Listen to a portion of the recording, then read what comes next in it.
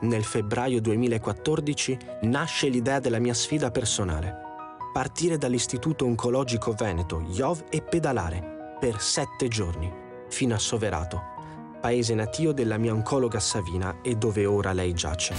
In bici per battere il cancro, la commovente e meravigliosa storia di Daniele Luppari, un ragazzo capace di fare dello sport il motore della sua vita. Pedala con Daniele, solo con Bike Channel.